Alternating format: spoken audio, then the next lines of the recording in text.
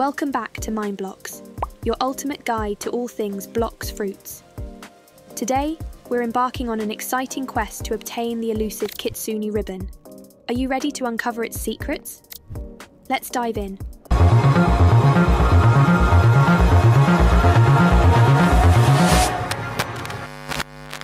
To begin your journey towards the Kitsune ribbon, you'll first need to locate the mystical Kitsune shrine, hidden somewhere in the vast sea.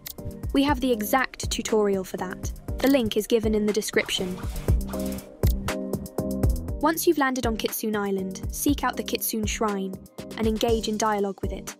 Follow the shrine's instructions and touch the statue to initiate the next step of the ritual.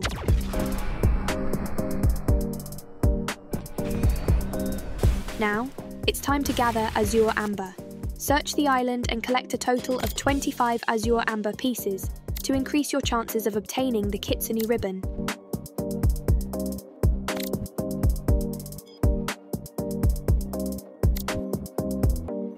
Return to the Kitsune Shrine once you've gathered enough Azure Amber. Offer the 25 pieces by clicking Submit and wait for the Shrine's response. Congratulations, adventurer!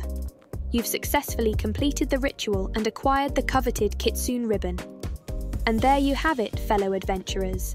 That's how you obtain the Kitsune ribbon in Blox Fruits. Equip it with pride and showcase your mastery to the world. Thank you for joining us on this epic adventure.